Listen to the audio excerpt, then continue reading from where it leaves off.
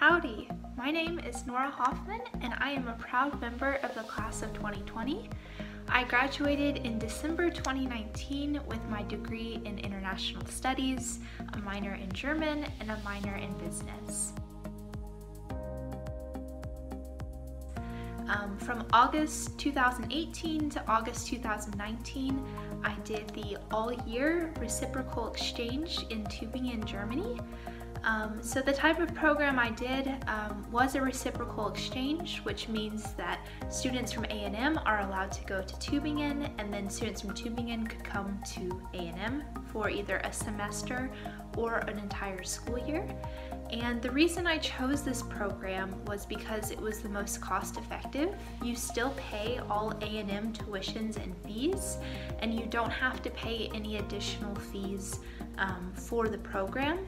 And so if you look at the amount of time that you're studying abroad, it's more cost effective than just a 10 week or a semester program.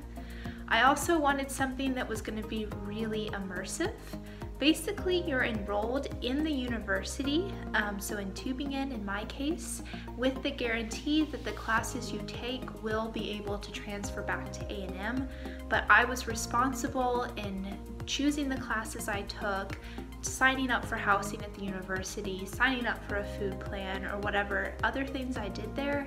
Um, and my professors were actual professors at the University of Tübingen, and my classmates um, were from all over the world. Uh, there was actually no other Aggie or really no one else from Texas that I met during my time there, and so it was really an immersive experience and something very different than I would have gotten if I had just stayed in College Station.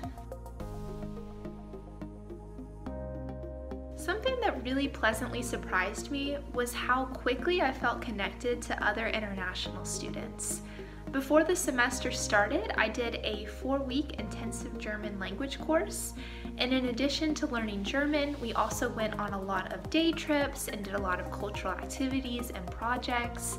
Um, and it kind of reminded me a little bit of Gig'em Week or maybe Fish Camp, where everyone's new and they're nervous, but they're really trying to make new friends and they're really open to that. Um, and that's exactly how I felt with the other international students. So many people wanted to know what life was like in the US or in Texas, and I was really curious to know more about their culture. And it was really cool, even through the differences that we had. Um, we're all young people, we were all excited about learning more about Germany, and so there was also a lot of connection, um, and a lot of those friendships lasted the entire year I was studying there, and I still have contact with some of those friends today. Another thing that really pleasantly surprised me was the Aggie Network. When I got to Germany, um, I decided in my second half of the year that I would like to try to find a job here and remain after graduating. And so I was able to go through the Aggie Network website and email every Aggie who was living in Germany at the time um, and through this inquiry, I was able to meet with Mr. Williams, who is the Deputy Chief of Staff at the U.S. Army Europe um, base, Clay Kaserne. And through that, I was able to spend the entire day with him at the Army base and get to see what that's like. And that was such a cool experience, um, especially coming from A&M with our military tradition um, and the connection we have to the military. It was really cool to see it in action in Europe while I was here.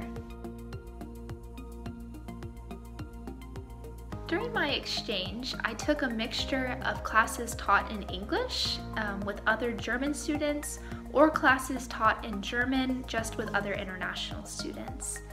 And before the semester started, I took a four-week intensive German language course, which I highly recommend to any student studying in Tübingen. It's called the Compact course and I was able to get six credits from A&M for taking this course and it was worth it alone for the fact that they helped me with my student visa paperwork, they helped us all start bank accounts, they helped us register for our first semester of classes, they were there to answer any questions we had about housing or life in Tübingen, um, there were also German students who were in the course who were there as mentors to us if we needed assistance. And that was also where I made most of the friends that I had throughout my year there. Um, because in addition to just having language um, classes, We also took a week um, trip to a popular um, vacation destination nearby. We went to Lake Constance, we went to Stuttgart to an opera, um, and just a lot of cultural activities that helped us better understand the place that we were studying in. And then once the school year started, um, throughout my time there, I took a couple of courses in international business that were in English. I took a course on citizenship, which was very interesting because there were students from all over the world in that course. Um, I took another course on social policy in Europe, in which I learned a lot.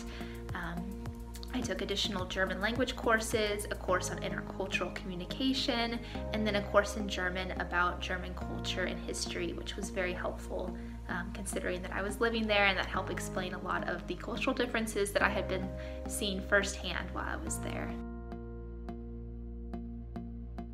While there's several things that I miss about my time abroad, one of the biggest was probably the ability and the encouragement to frequently travel. During my year abroad, in addition to traveling extensively through Germany, I was also able to visit Austria, Switzerland, Czech Republic, France, the Netherlands, and Ireland. It was also great having classes with students from so many different countries, and I really appreciated the experience to expand my horizons that I received from that. Something that was also super exciting was experiencing everything new for the first time. Um, I actually, after I graduated, ended up moving back to Germany, and that's where I live now. I work for a software company in the Stuttgart area in the marketing department. Um, and so I'm back again, but at the same time, I don't think there's ever anything like the first time that you go to a Christmas market or you experience a beer festival or just go to a cafe or go to a castle or just the stereotypical German things. Um, and so that's something that I'll always treasure that my time in Tübingen was the first time to really experience European culture and German culture.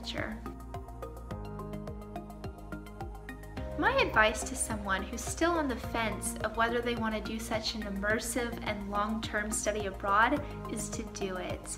If you really want to learn the language and discover the culture, then I think a year is the perfect time to do it.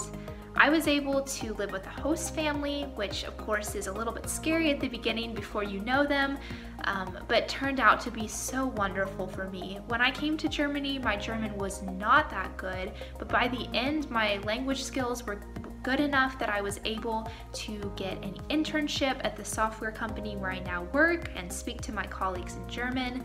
Um, and I'm not an extremely gifted language learner. It was really that if you are every day hearing the language and doing your best and just putting yourself out there, you will learn so much faster than you will in a traditional language course. I would also say, even if you think, well, I don't want to live in this country after I graduate, I want to stay in the US for the rest of my career, I would still recommend that you study abroad. Um, there are so many situations, to name just a couple. Um, the first week I was here, I was having a hard time getting my bank account set up, and so I called the help number and I spoke in English and asked them to help me, and they hung up on me. And so then I was sitting in this beautiful park in Tübingen, and I started crying, and I thought, oh no, I have no money, I can't speak the language, I'm here for a year, what should I do? And then I decided, okay, my German is awful, but I'm gonna call them back and do my best. And by the end of the call, the other person on the line was trying to speak in English and we were both laughing and we solved the problem. And that confidence boost was so important and so invaluable to me um, and then a few months later, I was taking a large train journey and one of the trains was canceled. Well, then when I went to the office, the employee said that they would not give me my money back. Well, in German, I was polite, but I was firm. And at the end, I was able to get my money back and a train to get back home. And those are just two of many examples I can say that when I came back to the US and something was difficult or I was uncertain, I thought, hey, if I can survive and somewhat thrive in another culture who's speaking another language, then I can do that here.